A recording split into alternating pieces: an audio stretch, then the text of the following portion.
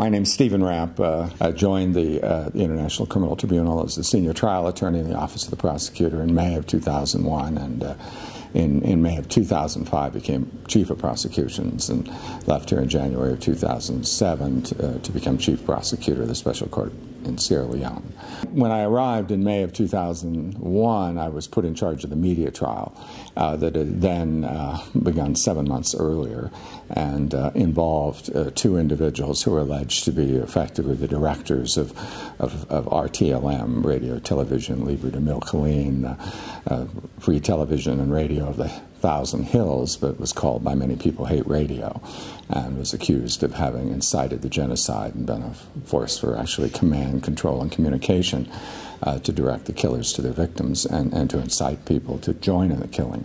Um, two director, two people that were believed to have been effectively the directors, Nahimana and Barayagwiza, and then another individual that had been the, uh, the, the, publisher and, and editor-in-chief of a newspaper that began publishing in 1990 and published right up to the beginning of the genocide uh, called Kangura, or Wake Up uh, which was famous for publishing the Hutu Ten Commandments in 1990 that encouraged people basically to hate the Hutu and not to have a Hutu friend or, or concubine or wife or, or, or secretary or anybody in the military and have no pity on the Tutsi.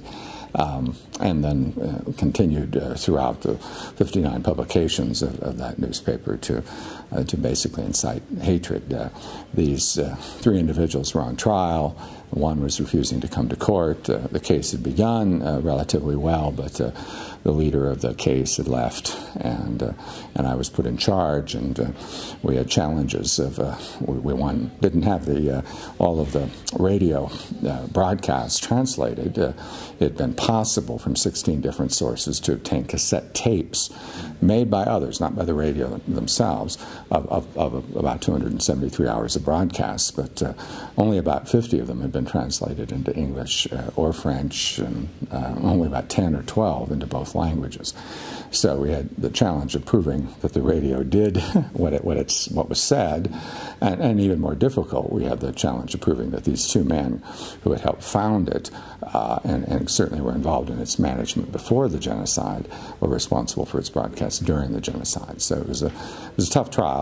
Um, we I'm with. Uh, the advice of the, the junior people that were on the team, uh, uh, put together a motion to substitute and add witnesses, which of course ran into a defense buzzsaw. Why do we get a new game plan seven months into the game? Uh, the, the, trial chamber, chaired by, by Judge Pillay and with Judge Møse, who both of whom were at one time or another president of the court, and a Sri Lankan judge, uh, Judge Gunawardana, uh, allowed us uh, about 17 of the 21 new witnesses we wanted. And I continued uh, to manage that case uh, through the end and, uh, and, and through the first convictions in the, in the history of the world for, for um, principles of the mass media for, for direct and public incitement to genocide.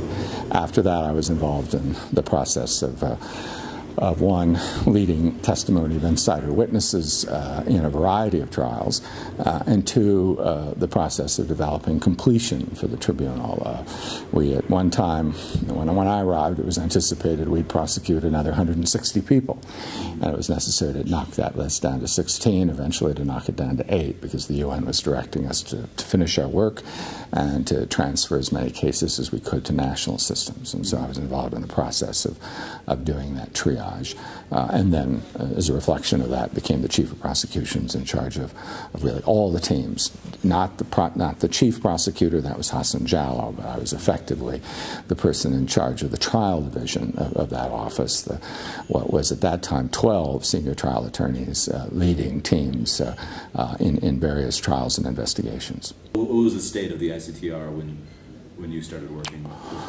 Well, there was uh, there was then a, a, project going on in the evidence unit trying to figure out what we had and, and how we got it, uh, and and it wasn't always that clear. We had uh, obtained an optical character recognition kind of search capacity to go over documents, many of which were in Kinyarwanda, which we didn't speak, uh, to identify sites and, and, and names, et cetera, to to discern what we had in terms of documents and what had been taken in, in earlier witness statements. But uh, a lot had been done very haphazardly by, by people involved on brief tours uh, several years beforehand. Uh, I came into the media trial, which was seven months in, uh, facing a profound deficit uh, in terms of the evidence that we needed to prove these individuals' responsibility, uh, and even a deficit when it came to uh, proving what the radio had said uh, in, in its broadcasts, and really couldn't get the resources to do translations.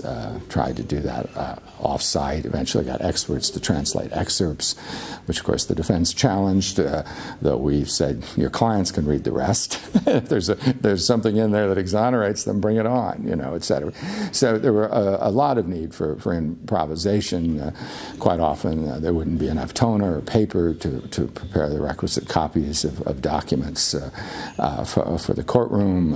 Uh, witnesses uh, would sometimes not, um, not show up at the place they were supposed to be. We'd suddenly think we're going to have a witness we didn't.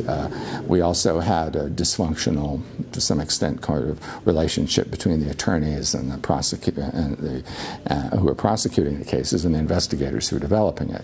Uh, they were over in Kigali, we were in Arusha, and though there were lawyers over there, they were supposed to be writing indictments and not involved directly in, in, in investigations. And so quite often we had witnesses uh, who, when they turned up and we talked to them, we discovered they really weren't uh, going to come up to proof, uh, couldn't recollect their statements, or maybe there'd been a mistranslation, or maybe they knew a lot more now, but if we presented their testimony, uh, people would accuse us of, of, of, adding to it later.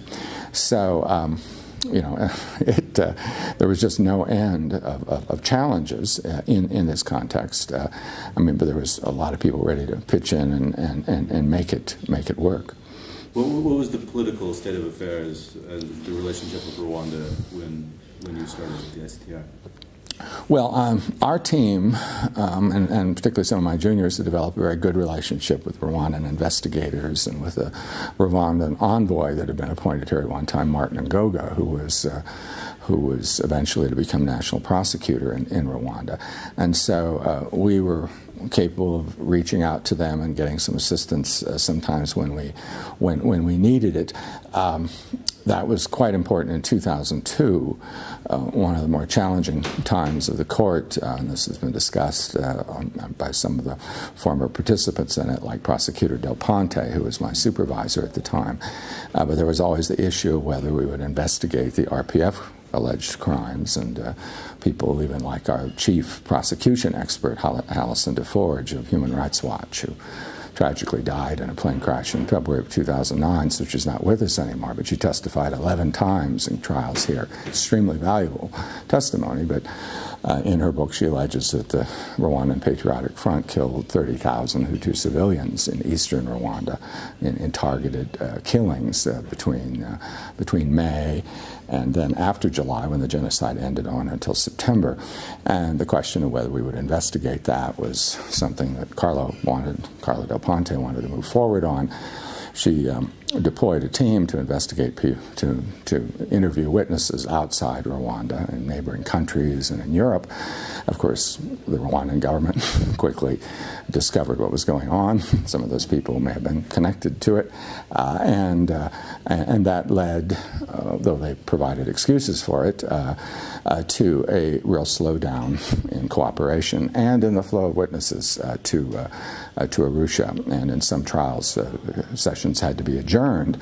Uh, and understand this was, was potentially crippling cases against uh, people that had murdered the brothers and sisters and mothers of the, of the current government of Rwanda, but they were basically sending a signal uh, that they'd uh, rather have us fail to prosecute their killers uh, than to deal with this part of the investigation. Um, eventually, Carlos suspended the investigation, um, and, uh, and then the witness flow began.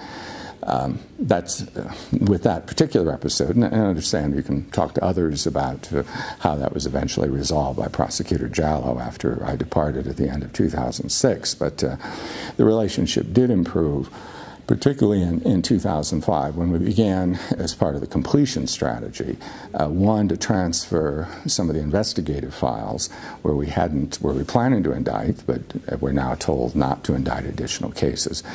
In, in three separate trips taken with Prosecutor Jallow, we, we brought over uh, a total of, I think, about 35 files uh, to, to Rwanda. And then we began to work on the process for transfer of one, people that had already been charged but were awaiting trial in Arusha uh, to Kigali for trial under the under a rule that had been adopted allowing a transfer if there, if there would be a process that accorded with, with, with due process and didn't uh, uh, and didn't have the death penalty. Um, we began the process, uh, the, the, the, negotiations to uh, ensure that those guarantees would be available in Rwanda, um, uh, which eventually led them to pass a transfer law, the creation of a special chamber of their of their of their high court for the for trials that would come from Arusha, and trials of senior actors that were sent from European countries, et cetera, back there. So, uh, and and we worked very closely in that. You know, during my tenure, we weren't able to get the judges to approve it, but eventually, uh, a couple years later, that occurred. Two uh, accused in detention in in Arusha were eventually transferred to Rwanda for trial. Six other cases of, of individuals that were indicted but not yet arrested uh, were transferred uh, to Rwanda under the understanding that those individuals, if they're arrested, will go to Kigali and not to Arusha. So uh, that really was a was a was a game changer in terms of really direct cooperation because we were working on the same set of cases and, and facts. The politics uh, were incredibly complex in deciding who to mm-hmm. prosecute and who not to. But for you personally, was that or professionally, was, was that a difficult decision to make to know that if the RPF wasn't going to be prosecuted by your office, that there was not going to be probably prosecution at all? Or well, um, yeah, I do want to. I mean, there, there, are obviously different questions in terms of, of, of prosecution decisions. And uh, I'd been a United States attorney, um, federal prosecutor in the United States, and uh, uh, primary responsibility for law enforcement in the United States is at the state and local level. And federal prosecutors take cases uh, that involve sort of, uh, you know, nationally significant criminal organizations, criminal activity that crosses state lines, uh, but but also can take even local cases of violent crime in order to have an impact and can sometimes bring more resources to bear and sometimes even tougher penalties than, than the locals can. So um, I was very familiar with the question of choice uh, and making decisions and, and, and choosing cases for impact and recognizing that at the end of the day, uh, not every guilty person will be, will be prosecuted. Uh, uh you want to build strong cases, convict those individuals, and the message you send by doing it to others in other situations is as important almost as the individual case. So the idea of selecting cases and the challenge that uh, that we had uh, with with going from say 160 suspects that were uh, remaining that we could have prosecuted for genocide against the Tutsis of Rwanda, cutting that down to, to 16 and then to 8, it was something that I could live with. On the other hand, we were constantly looking at that file from the point of view of, well, this person could be prosecuted in this European country, or this was someone the Rwandans might be able to get, etc. Uh, so, you know, it is a tough uh, question sometimes and a fine line. And, and sometimes it depends on the ability to muster the proof, because not every crime can be proved, even the most egregious ones. You've got to have the, the witnesses and the, and the evidence. Uh, the, the RPF question is. Uh, is a sensitive one, and I've had to deal. Um, you know, I'm extremely supportive of, of what what Rwanda has done to to uh, uh, to rebuild itself after the after the genocide, and extremely supportive of the efforts to prosecute those responsible for the genocide in their national courts, both their high court kind of more classic civil law um, uh, trials and the Gacaca trials, which I think have uh, largely been a positive thing to bring these trials together, bring these suspects and the perpetrators, uh, the perpetrators and the and, and the victims and survivors together on the Hill. Uh, and um, though many times it results in relatively short sentences that the victims aren't happy with, at least there's a recognition of truth and there's opportunities uh, uh, to get uh, reparations that there aren't at the international level. So I, I, favor that. On the other hand, you know, my own personal view was that uh, we had to vigorously pursue cases that could involve crimes committed by the RPF, recognizing that our priority, the reason the court was called into, into existence by the United Nations, was the third great genocide of the 20th century, the murder of 800,000 people in 100 days, a rate of death faster than that of the, than the Nazi Holocaust, when the Nazi machine was, was, was, was running full bore, a horrendous crime. I mean, When we say like, uh, you know, three World Trade Centers a day for 100 days in, in a country, uh, you know, one, one, one, one hundredth the size of the United States. And so it's an immense crime that we're dealing with. And, and, there will be always crimes in a conflict on, on both sides. And, uh, and, and, the highest priority was, was, was to the genocide. Uh, I think it was important, however, to investigate the other side and, and to find a way to, to try those, those, those cases, recognizing that in international justice, the issue of state cooperation and, and working that in a way that you could continue your other trials here led us often to the conclusion that we needed to um, complete our major genocide work before we dealt with the uh, with these other matters, and and in the end created a situation where when, when we finally when the court finally reached that point, it was it was very difficult to do so.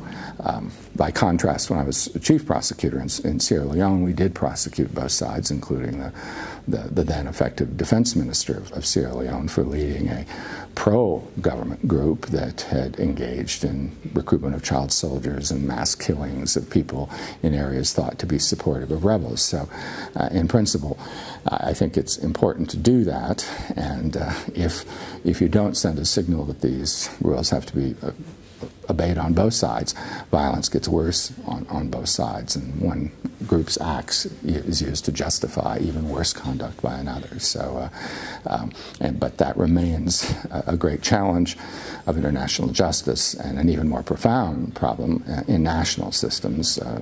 Uh, trying people within governments uh, is, is never easy.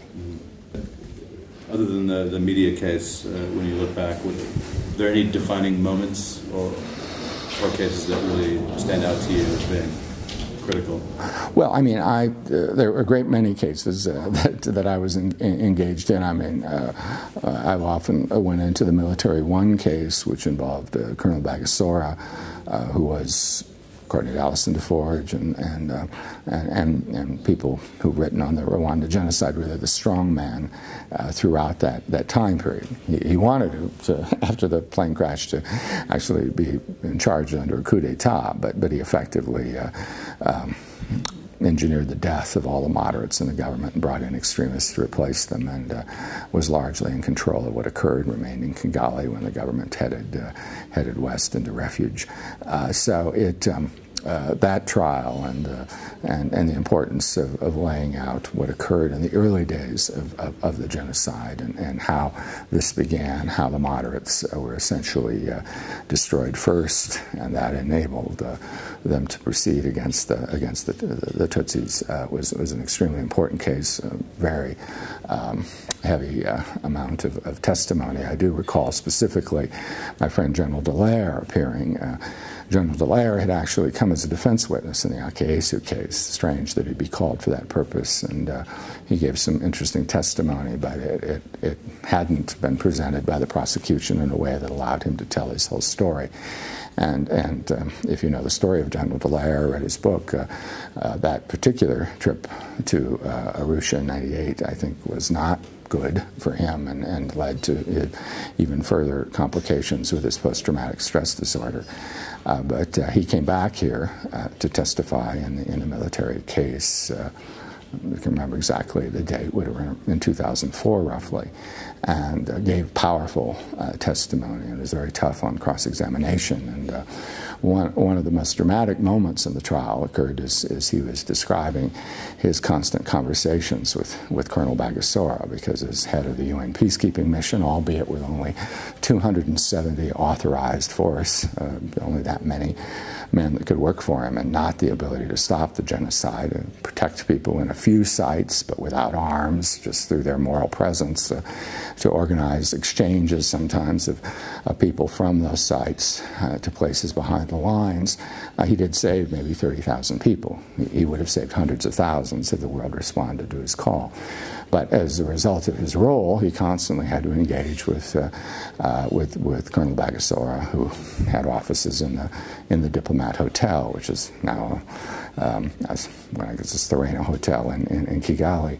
And um, he described how, how tense these conversations were and how angry Bagosora would, would, would be with him. And, uh, and uh, the person asking the questions on direct examination was able to ask him, well, do you remember the last time before today that you saw Colonel Bagosora? And he said, yes, I remember it. And what were Colonel Bagosora's last words to you? And he said, General, next time I see you, I will kill you. Well, the next time he saw him, he was sitting in the court charged with genocide, and, and, and General, General Dallaire was testifying against him, and he would eventually be convicted of responsibility for the genocide, and, he's serving a prison sentence today. How, do you think history will uh, look back on, on the ICTR? Justice delivered for Rwanda? Justice was delivered for Rwanda. Uh, understand in, Rwanda they would have liked it to be closer. the Rwandan government uh, uh, was on the Security Council in 1994. Uh, for most of the year, that was the genocidal government. Uh, but after the victory of the RPF, it was uh, the, the, government well, at that point led by Vice President and Defense Minister Paul Kagame, and led still by him as, as president. Uh, and uh, that, that government voted against the establishment of the ICTR by the Security Council. It was on the Council. It was a vote of 13 to 1, with Rwanda against and China abstaining. Uh, eventually, we, we, we, we, developed a good relationship uh, uh, with, with Rwanda. But um, in terms of, of our ability to, to do the job and, and to accomplish justice, one has to keep in mind that uh, the major suspects of the genocide were not in Rwanda. And uh, they had uh, uh gone all over Africa, in Europe, even in North America. Uh, the court, because it had powers under Chapter 7, uh, where given to it by the Security Council. Chapter 7 says you know, that if the Security Council acts, every country needs to comply at, at peril of, of, of, of sanctions or, or, other enforcement measures. And so uh, it was possible, not just because of that legal obligation, but also with a tracking team and cooperation with law enforcement around the world, to bring people from 26 different countries here. And uh, those people would not, in, in, in, that era, maybe more recently, it might be some might have been extradited to Rwanda, but with the death penalty, with questions about victor's justice there, they would have escaped justice. And so it was possible to bring them here and, and, and try them in, in, processes with, with international judges and prosecutors and defense attorneys, uh, eventually larger and larger Rwandan participation uh, in, in, in that process and, and to establish the facts and, and hold those senior individuals uh, uh, to account. And uh, if this tribunal had not been there, that would not have occurred. There still would have been justice in Rwanda in their courts uh, of, of relatively low level people. In the end, uh, the tribunal had the prime minister and 12 government ministers arrested, uh, at least 13 uh, military leaders, uh, seven or eight uh, governors, and a score of, of, of other lower level officials, and then, of course, media leaders, business leaders, um, priests, other religious leaders, etc., that, that, we were able to bring. And we're generally the highest level actors and, and, the ones that have been able to get away because they had the resources to find a, a safe place in a more distant country. Um, anyway, we were, we were able to, to hold them to account here, where otherwise uh, they would not have, uh, have, have, faced consequences for their acts. After I was a um, uh, prosecutor, uh, prosecution attorney, senior trial attorney here, and, and, chief prosecutor in Sierra Leone. For six years, I served uh, in the Obama administration as our chief diplomat for, for international justice, uh, as our ambassador at large, and, and that involved me traveling. Uh, you know, essentially about 220 days a year to 87 different countries and, and dealing with uh, uh, incidents of mass atrocity in the past uh, and, and at the present, um, right up to what's happening in Syria today. Uh, and, and re-engaging with the International Criminal Court, and but particularly with local actors uh, trying to bring people to justice, and uh, and and the importance of of what happened here uh, in terms of convicting leaders for, for genocide, including a prime minister, uh, determining that, that, that, sexual violence was uh, endemic during the, the, the, commission of that genocide, was actually a tool for the destruction of the Tutsi people, and and certainly also a crime against humanity in obtaining those first convictions. you know, resonates uh, across the globe.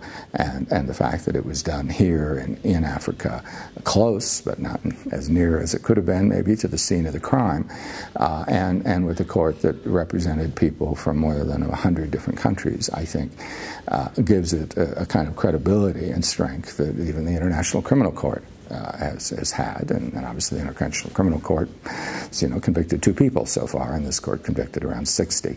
Though we've got a big trial, big one coming up for final appeal here, uh, and you know, certainly that'll be resolved by the time this is played. But uh, but but did succeed uh, uh, in in these in these cases and established uh, law, not just law but also the expectation of, of justice after after mass atrocities, and and and for victims in Africa. Uh, it was very important when this court was established in 94 because the previous year there had been a court established for Yugoslavia where at that point maybe 60 or 70,000 people had been killed. Eventually more than 100,000 would be killed. But here 800,000 were killed. And so the message uh, uh, we were hearing is uh, these victims deserve justice too. And, and that continues to be an important message. And sometimes it's drowned out for perpetrators that say you're focusing too much on crimes in Africa. I never hear that from the, from the victims. And I never heard it from the victims uh, uh, that, I, that, that uh, I met in Rwanda and elsewhere and that came here to, to testify in the trials in which I was involved.